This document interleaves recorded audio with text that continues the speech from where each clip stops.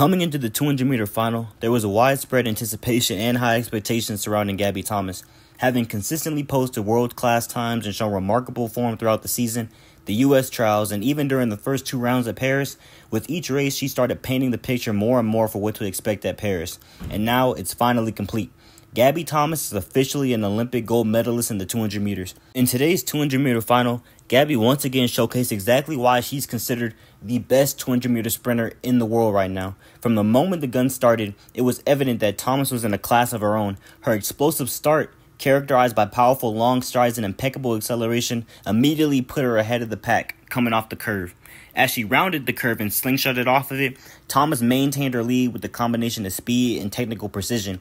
And this is where her strong suit really kicks in. Her smooth transition from the curve into the straightaway highlights her excellent form and efficiency. And by the time she entered the home stretch, it was clear that she had already had this in the bag. Thomas crossed the finish line with a time of 21.83, a dominant performance that left her competitors trailing far behind, with the closest one being Julien Alfred, which I will give her her flowers for. But you Julien Alfred fans are starting to get on my nerves because after she beat Sha'Carri in the 100, all these other people just started talking down like Julien Alfred was just Usain Bolt and was just going to come out here and take the 100 and the 200. And I'm like, bro, she's not beating Gabby Thomas. And people are like, nah, Julien Alfred's taking the gold. No, she is not. Respect to Julien Alfred, though. This is her first Olympics. She's 23 years old. You know, she's like, she's done great.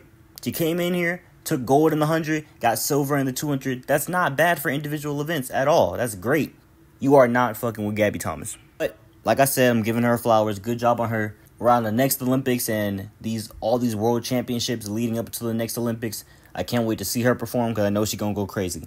But like I said, nobody's fucking with Gabby. Like her top end speed and her speed endurance is just way too strong for anybody to compete with her. She's literally like a Noah Lyles. And honestly, if she stays healthy and works on the first half of her race like Noah did and got better in the 100, like getting her overall acceleration and first half of her race speed better, just like Noah, she's going to be able to widen that gap between her and the rest of the competition.